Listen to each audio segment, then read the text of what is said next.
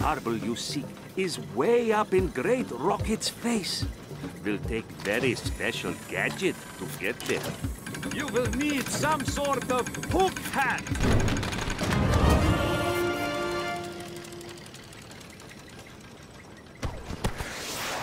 But all I brought was hanging basket.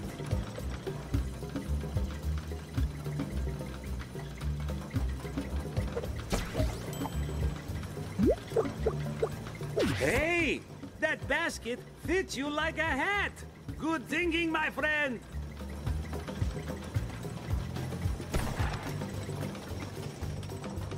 Attach it to lines like this using the R1 button and the left stick to control your direction.